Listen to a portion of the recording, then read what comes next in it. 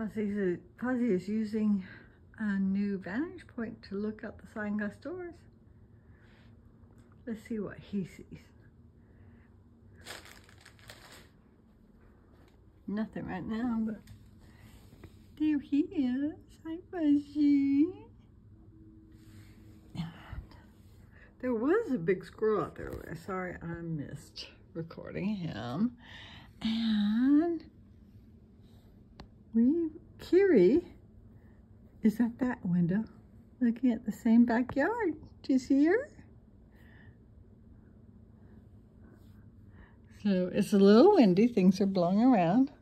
He might be looking at the grass that is alive or weeds that are alive. Right, Fozzie?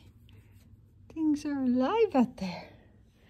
He might be seeing the squirrel in the tree that I can't see anymore. It got so close to the doors. It was really cute.